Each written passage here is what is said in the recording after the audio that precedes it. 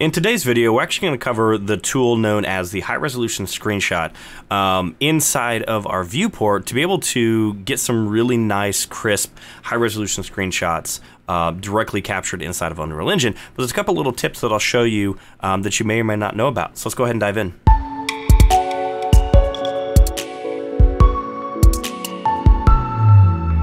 All right, so shout out to Michigan Studios for uh, this really awesome pack. So this is on the marketplace.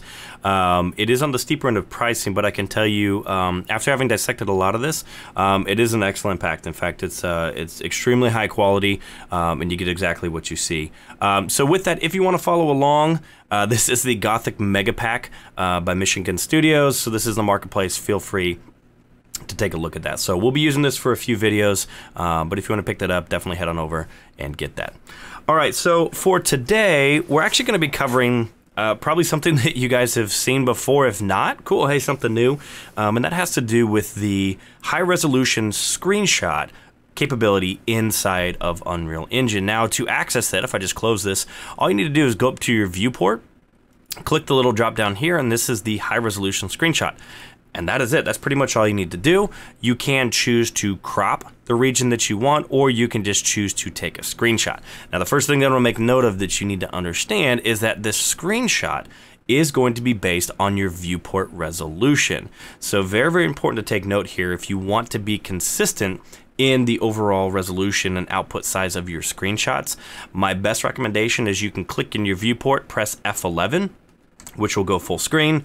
Um, or if you don't remember the hotkey, just go over to here and it should be underneath this immersive mode. And there you go. So this will maximize to your screen size to then be able to take your high resolution screenshot. Okay, I'm gonna go and exit out of this. All right, so let's just cover real fast the high resolution screenshot and some things to take note of. Uh, the first thing is this screenshot size multiplier. Now, if you're familiar with rendering images and how to get crispness and how to make things look nice, my general recommendation is if this is gonna be like a portfolio shot, go ahead and take this screenshot multiplier to two. And what that will do is that will double your viewport resolution, to then you can scale it down to whatever image program that you want, uh, that usually nets a, a, little bit sharper, a little bit more crisp image, which is kind of just a little quick technique. Um, Next thing we have here is this use date time stamp as image name. Um, you could do that so when it outputs, generally, um, if you have this unchecked, it'll just say high resolution screenshot 00001, 0002, etc. Um, so you can use this date timestamp. Um, that may be very helpful, especially if you do an iterative uh, screenshot so you know exactly when you took it um, and what the name is. Include buffer uh, visualization targets. Um, this is something we'll cover a little bit later, but you can do the different buffers. You just have to specify them on output. Uh, this is one way to do that. The uh, the last thing here, um, in fact, actually, when you check these, you'll see that you get these guys. The last thing here is this use custom depth as mask. In fact, if you click it, it's like cool, you get a green screen. Um, what exactly? How do you control that? So um, I'm just going to take this uh, this statue that we have here in our scene. Now I've just grouped it for easier selection in case I accidentally click it off. Um, but with all of our objects inside of our scene, um, they have a really cool parameter that we can target that allows us to actually use this custom depth as mask. So if I go on over here and underneath search details, what I'm going to look for here is, I believe, depth. Uh, you can also get it through render, but depth is usually a bit easier. All right, so I'm going to go ahead and turn on our use custom, uh, custom depth as mask. If you notice, I get green screen.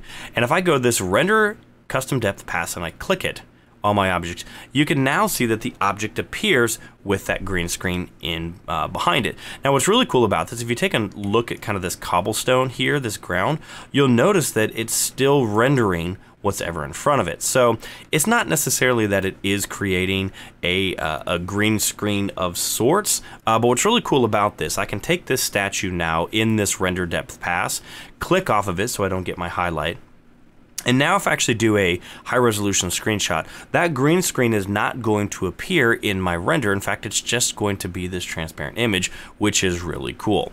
So again, to do that, just select your objects and make sure you have this render custom depth pass make sure it's in there and just check it.